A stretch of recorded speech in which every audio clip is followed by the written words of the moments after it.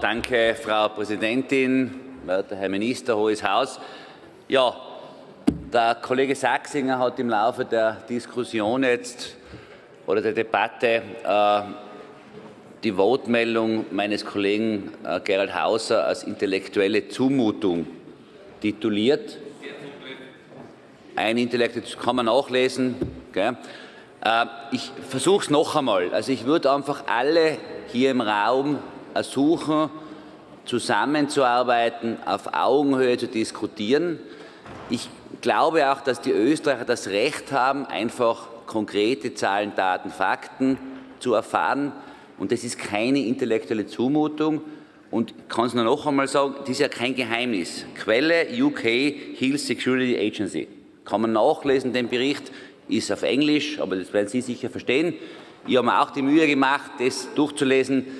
Die Analyse in England ist relativ einfach und das ist jetzt noch einmal, man sollte Zahlen, Daten, Fakten diskutieren. Und die Engländer haben den Vorteil, dass sie erstens bei der Impfung, wie wir alle wissen, uns einige Monate voraus sind und dass sie dort ein halbwegs funktionierendes System haben, Zahlen, Daten, Fakten zu erfassen.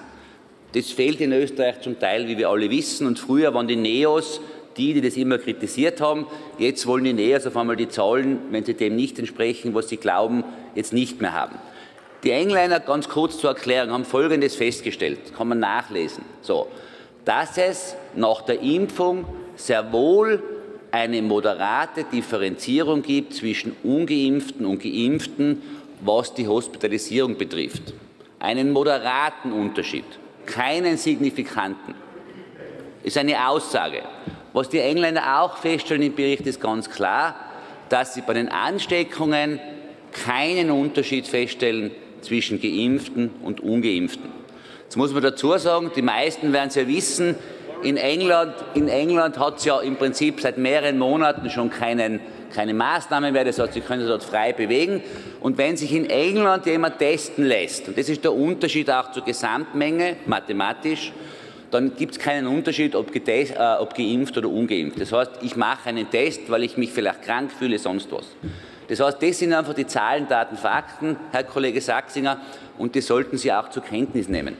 Ich gebe es Ihnen gerne mit, den Bericht, oder schicken Sie mit E-Mail, wenn Sie wollen. So, und dann das als intellektuelle Zumutung zu bezeichnen, finde ich, dient der Sache hier im Hause nicht.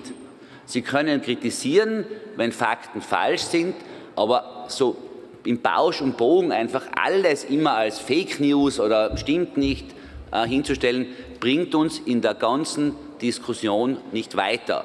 Und ich sage es auch noch einmal, weil es immer wieder kommt, was war die Position der Freiheitlichen? Wir haben immer gesagt, wenn jemand für sich entscheidet, er will sich impfen lassen, selbstverständlich gerne. Wir haben nie jemanden verboten, sich zu impfen. Nie, war nie die Aussage, wenn Sie mir eine Aussage bringen, sage ich mehr Culpa. Aber, und jetzt kommt Jetzt kommt aber das Aber. So, wir haben auch immer gesagt, das ist eine persönliche Abwägung der Risiken und der Vorteile. Und jetzt kommen wir zu den Vorteilen.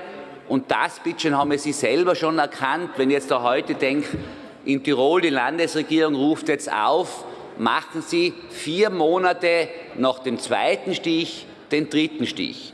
Das heißt, das, was wir Freiheitliche oder ich persönlich seit Monaten Ihnen erzähle, ist jetzt durchgesickert. Die Wirkung dauert eben leider Gottes nur sehr, sehr kurz. So.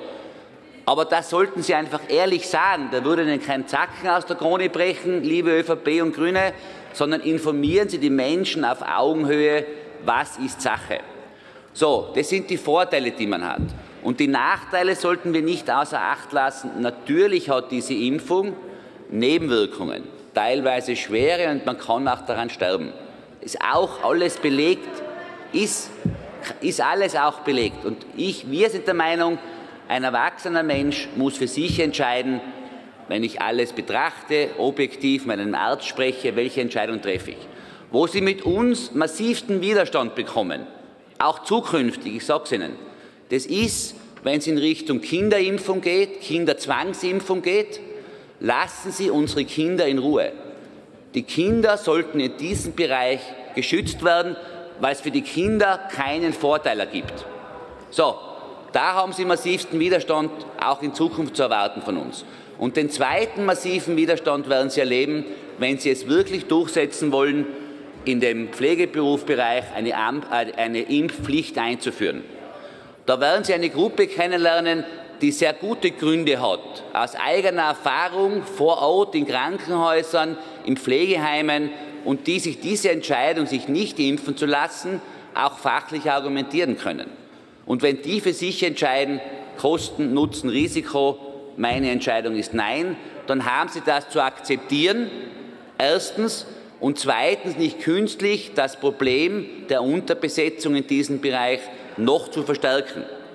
Darauf weise ich Sie hin, ausdrücklich. Und ansonsten sind wir eine, für eine sinnvolle Diskussion zu den Maßnahmen, auch als freiheitliche Wahlen wie immer zu haben, sind wir zu haben. Aber wir fordern eine Politik, eine Corona-Politik mit Herz und Hirn und nicht drüber fragen und, und bezeichnen, wir sind alles Dumme oder jeder ist da äh, intellektuell minder bemittelt, wenn er das nicht versteht.